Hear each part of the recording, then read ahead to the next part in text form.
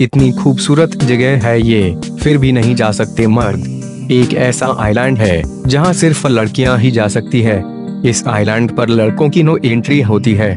Finland के Baltic के पास एक ऐसा आइलैंड है, जहाँ पुरुषों का जाना बैन होगा। इस आइलैंड पर सिर्फ़ महिलाएँ ही जा सकती हैं। इस जगह का नाम सुप्रशी आइलैंड है। इस आइलैंड को इसी साल गर्मियों में खोला जाएगा।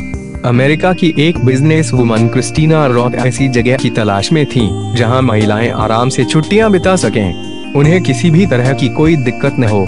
क्रिस्टीना रॉथ का कहना है कि इस आइलैंड में महिलाओं को फिटनेस, न्यूट्रिशन और वो सभी चीज़ें मिलेंगी, जो उन्हें रोज की भागदौड़ भरी ज़िंदगी में नहीं मिल पाती हैं। सुप्रशी आइलैंड में एक रिजॉर्ट है, जिसका अभी कंस्ट्रक्शन चल रहा है। इस रिजॉर्ट में चार कैबिन होंगे और इन कैबिन में आराम से दस महिलाएँ रह सकेंगी। रिजॉर्ट में स्पा सोना बाथ सहित कई अन्य सुविधाएँ होंगी। सभी केबिन पूरी तरह से हेल्थ पर फोकस करके बनाए गए हैं।